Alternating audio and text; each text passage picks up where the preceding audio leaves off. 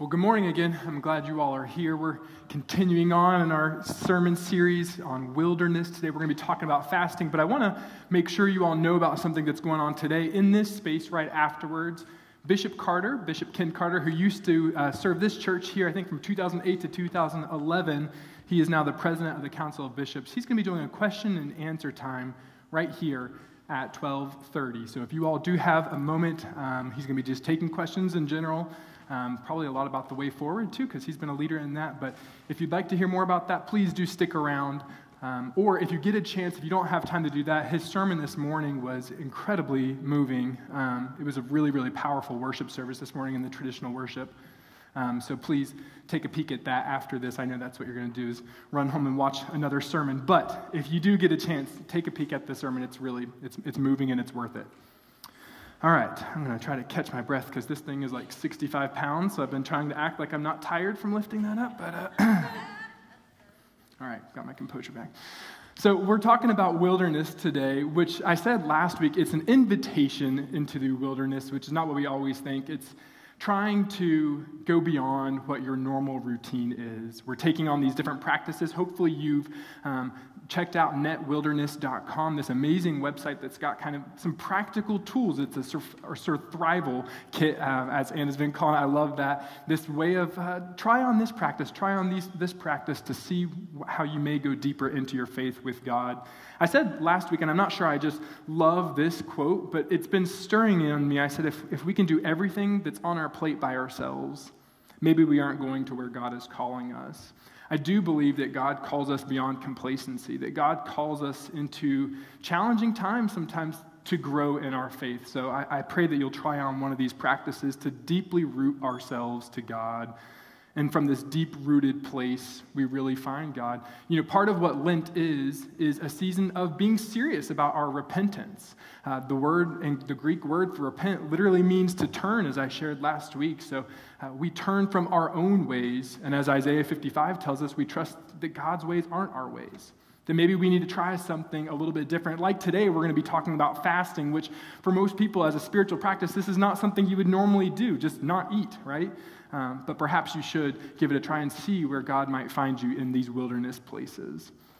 So, fasting is just that, going without food or drink. But during Lent, we think about it kind of even more broadly. Sometimes you give up other things. Maybe you give up coffee in, in general. I know there's some folks who that was a struggle bus for some people at the beginning of, of the Lenten series uh, season. Some people give up social media. That's why I haven't liked any of your cat and dog pictures or anything like that. That's what I'm doing this. Uh, there's lots of different things. You pray about it and, and see what you might give up in order to take something else on. So that time I'm not using in social media, right? Uh, my screen time, you know how now your iPhones and stuff send you a screen time at the end of every week, which is kind of like shocking. Uh, now that's, that's gone way down, and hopefully that time has been better used to pray and read or and go be with family, whatever you might do. There's lots of different things you can fast from. I really like this idea, and I hope to pick it up after Lent.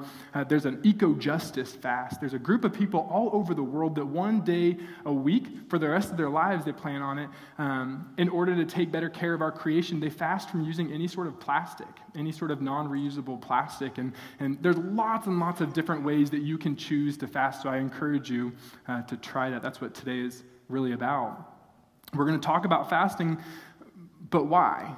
Right? That, that's what I ultimately end on in all of these sermons. Why in the world am I talking about this? Why do you sit here and listen for 25 to 30 minutes? Why does this matter to our lives? And I was thinking about the why and praying through it because I felt really led to this topic months ago. Why are we talking about fasting today? Why are we talking about these spiritual practices at all? And it started hitting me this idea of us being thirsty people, that we are needy, needy people. We're thirsty people desperate for the drink of answers, of presence. We have parched souls and minds that just have to get a drop of God's living water in our lives. I think we want to know what's going on in our lives. That's a normal thing, and we turn to God for that. We live in an age where facts are easy to find, as I've shared in here before. I love doing that. Google, uh, Google is just amazing. It's how you write every single sermon, right? Google reports that over 40,000 searches are logged per second. Every second, there's 40,000 individual searches going on. That's more than 3.5 billion per day. And this creates a problem, even though it's really convenient having that, you know, like who is Seth Avett married to, right? Like I Googled that and well, you Google all these things, it's nice to know. It creates a problem for our thirsty souls. Our souls need to drink too. Our souls need answers too, and you can't Google the answers to your souls, to what we really are needing, what we're really craving, what we're trying to pay attention to, our spirit life during this season of Lent. But you may know the story of Jesus and the woman at the well. He tells her there that the water God wants to give us, this thirst that we have, while physical water is good, we'll get thirsty again. If you drink from Jesus as well, you'll never get thirsty again, he says. I like this idea of thirst for us. I think it's uh, apropos while we're here in the middle of the wilderness. M. Craig Barnes, he talks about thirst this way. He says, We keep presenting Jesus as a what before we introduce him as a who. Knowing about Jesus is not the same as knowing him. This has the effect of turning the world, the word Christian into an adjective, which is something the Bible never does, he says. If we are not, I love this line, if we are not astonished by Jesus, we are following something other than the person described in the Bible. Fasting, meditation, whatever practice you choose to take on or you choose to try during this Lenten season, it's not a Google search or an exploration, uh, explanation of a why or a what. Instead, we're talking about fasting today. We're taking these spiritual disciplines to learn about the who, to learn about connecting to God, to slow ourselves down, to quiet ourselves down, to remove any of the stuff that's getting in the way in our lives, and really get to know Christ, God, in a more, more personal way that means something for our lives here and now today. Fasting throughout the ages, I could have I thought about quoting all these scholars, all the kind of uh, uh, patristic fathers, right? There's all these great uh, if you go to seminary or if you do any sort of Bible research kind of thing, you have to learn about the fathers that sort of helped develop Christianity. So I thought about quote, quote, quoting Tertullian and Augustine and then all those kind of people to you. But just trust me. Go on Google and you can look for yourself. They all tried fasting. John Wesley, the founder of the Methodist faith, he said it's one of the most underappreciated uh, practices in the Christian faith. He practiced it at least twice a week, if not three times a week. Fasting is a tried and true way of people trying to find an intimate relationship with God. Not just knowing stuff about God, but fasting was a way that they got themselves in the room with God. They got themselves face to face with God. And there's scripture from the Bible uh, that obviously talks about fasting as well. Today it's from the book of Ezra, not a very popular book, I can tell you, because I didn't have it bookmarked beforehand. I'm sitting over there during the song. I'm like, where is Ezra? I thought it was after Judges, but it's not, by the way. You got to keep going a little bit farther. Um, but Ezra, right before Nehemiah, uh, was one of the chief priests, one of the spiritual leaders of Israel. Ezra was one of the chief priests, one of the spiritual leaders of Israel in a time where they had been, a lot of them had been exiled. They had been kicked out of their land, not the big one, but this is another time where they had been kicked out of the land. And in this exile, while they're not where they normally worship, had been like us moving way, way away, not by our choice. In this time, they stopped worshiping God like God had asked them to. The covenant relationship they had with God was beginning to wane, and Ezra kind of steps in and tries to, uh, tries to bring them back to God. So, what we're going to read today is from Ezra chapter 8. And Ezra meets up with this group of people, this exile who is not, aren't really following God. And Ezra convinces them and convicts them to go back into a relationship with God and, and also works with the king at that time, King Darius, who's going to let them go back to Jerusalem. Ezra is about to take this group of exiles and move them back into Jerusalem. Our scripture is from chapter 8, verses 21 through 23. This is right before their trip. Ezra says, Then I called for a fast there at the Ahava River so that we might submit before our God and ask of him a safe journey for ourselves, our children, and all our possessions. this is a funny verse to me. I had been ashamed to ask the king for a group of soldiers and cavalry to help us facing enemies on the way, because we had told the king the power of God favors all who seek him, but his fierce wrath is against all who abandon him. So we fasted and prayed to our God for this, and he responded to us. I realize I forgot to pray as we start, and that's a bad thing. Would you pray with me now? Oh God, I am grateful for the discipline of reading Scripture. Somehow it always turns us back to you, convicts me even to pray. God, we ask that you would be here with us now, continue to be here with us. As we look at this specific discipline of fasting, open us up to this possibility as how you might choose to meet us, how you might choose to comfort us and heal us, and bring us face to face with the who, not a what or why. God, be here now. Let the words of my mouth and the meditations of all of our hearts be pleasing and acceptable in your sight. God, our rock and our redeemer. And everyone said, So, right before one of the most dangerous trips that they were ever going to take, a trip that would be full of roving bandits and people coming, and, and there, there, are these traveling warlords that would go around and just steal from anyone, just overpower them and take their people, take their possessions, anything they had. They could have lost their life just trying to get back to Jerusalem. This was a perilous trip across the desert. Ezra, kind of ashamed, it said, which is sort of a funny motivation, saying, okay, I got to prove that God is real on the one hand. I'm a little bit um, embarrassed to ask the king for protection, even though the king was starting to get on Ezra's side. Ezra, before all of this, the thing that Ezra decides is going to help them get to a place where they might find God is fasting. Ezra prioritized fasting as the thing that may be the very salvation of their life, fasting before they went on this trip. More than just a prayer, a fast. They spent the day in prayer and gave up food as a way of acknowledging that they are needy people. In fasting, I love this idea. It's where we literally empty ourselves. You get hungry, right? You're, you're giving up food or maybe a drink of some sort. You're, you're giving up something to acknowledge that we have needs because we are human.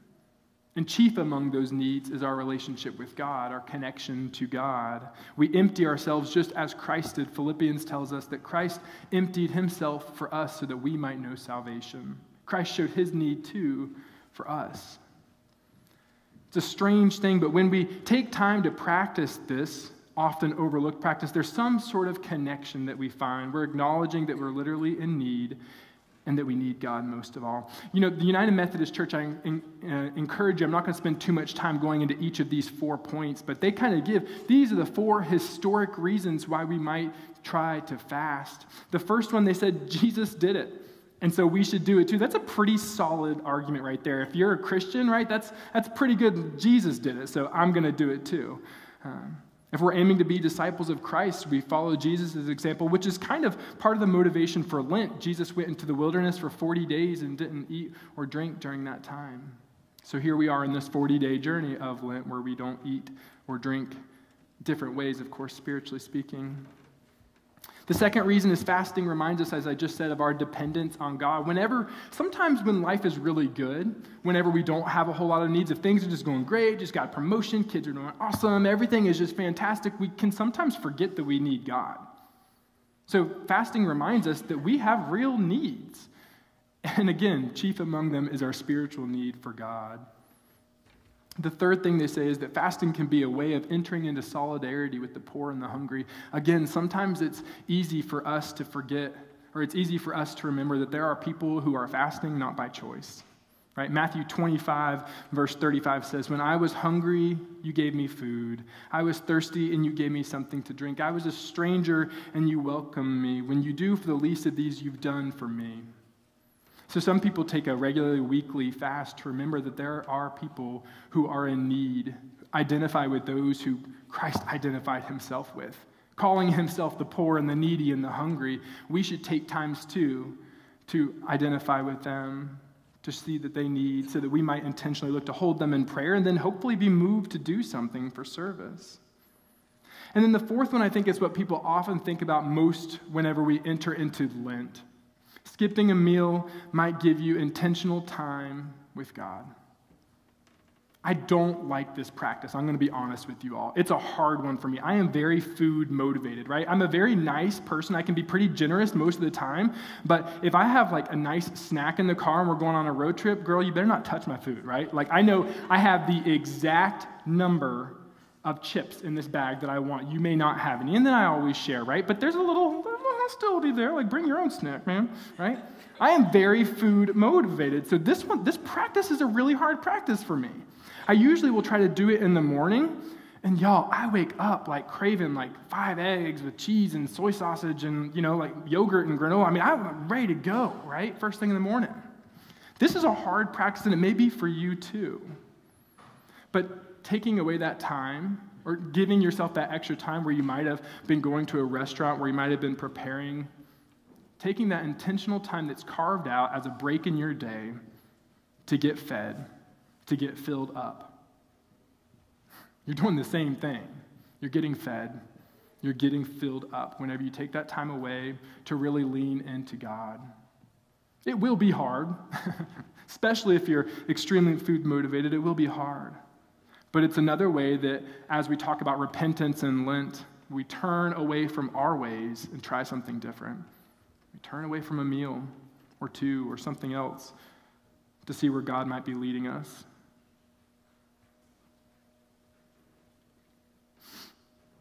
You know, I think I was so convicted by this sermon series because it's so easy to talk about God, even in a place like this that craves relationship, right? The net in Providence, it thrives on these relationships. Sometimes we forget that really is all that we're called to do with God. That's what these disciplines are. I know these, I, have shared this before with kind of the net team, the group of leaders who help make all of this possible, that I've really struggled with writing these sermons. In my mind, they're really bad sermons so far, right? Because it's just, I keep on being like, this is what it is. This is how it's in the Bible. Try it, try it, try it. No, really, try it, try it, try it. But the reason why I care so much about that is because I want to see our lives, your life, my life, changed. What would it really look like if you fasted tomorrow or sometime this week, and during that time, you felt God like you've never felt God before? What would it be like if you really got quiet this week, took some time meditating, and you heard God call your name? What would it be like if you're waiting for a new job, you're waiting for healing, and this is the place where God found you? That's why we take time in, in this season, is to really humble ourselves, acknowledge that we need God, see that this is the way that other people have entered into those relationships. It's hard for me to convince you, I think. I'm not trying to convince you, I'm trying to encourage, I suppose, but it's hard to even encourage that you should try these things. Really, you do just have to try it for yourself and see where God's going to show up in them. And y'all, I, I should have said this. Is the band, you guys can start coming up. I should have said this last week and I didn't. I should have said it from the very beginning. One of the things that bothers me about this series is that we act like there's a right and a wrong way to do all of it. Like there's a right way to fast, like there's a right way to meditate, and there are good tried and true practices. But if you go and try to meditate this week, if you try to fast and it doesn't go exactly right, or you get really hungry, you were trying not to eat until lunch and it's like 10:45 and you start nibbling a little bit, it's okay. There's grace the whole point of whatever practice you end up taking on absolutely needs to come from a, a place, a position, a posture of God, I need you. God, I want you in my life more than I've ever wanted anything. that's hard to say, right? Can you really say that? God, I want you right now in my life more than I want anything else in my life. That's a really hard thing to actually believe and live out. Because we have relationships that are good and that matter. We have things that are fun, jobs that sustain us and fill us, families that are important to us. And maybe that's part of how God comes to you through those relationships, through those things that God's calling you to. But this season, just for a few weeks. See what it might be like to prioritize God above everything else. Know that it's going to be really hard, that some days you're going to do it really well, other days not so well. And God's grace finds us in the middle of that. And know that you don't, as this series started out with, with Nina Win, you don't do it alone. You've got me. I love you, and I'm right here. I pray for you every day. More than me, you've got a whole community here. I know there's a group of prayer warriors, as, as people often talk about. There's a group of people here who love you and care for you and want the best for you and want to walk side by side. Stephen ministers who want to take care of you, who want to hear you and listen to you. We're ending today by singing a song proclaiming our need. That's how all of these practices start by humbling yourself and really believing, Lord, I need you. Lord, I need you all the time. Don't we need God? When you get to that place, I think that's why God invites us out into the wilderness. Quiet down. Acknowledge that we're human and broken and craving. We're thirsty people. I hope as you walk into the wilderness, I hope it's not so hard, but when it is, I hope you feel God like you've never felt God before. I hope when you mess up, you hold yourself with some grace. I hope you don't try to walk into the wilderness all by yourself, because there's a community here that wants to go with you. Oh God, we need you. Forgive us, God, for how rarely we are honest about our need with you. And just like that, you forgive us. Just like that, you call us precious. Just like that, you offer us the water that doesn't come from any well on earth. It's the living water that quenches every thirst. So, Lord, meet us in this wilderness place. We give you thanks and praise. We pray this in Jesus' name through the Holy Spirit. Amen. Would you please stand and worship with me?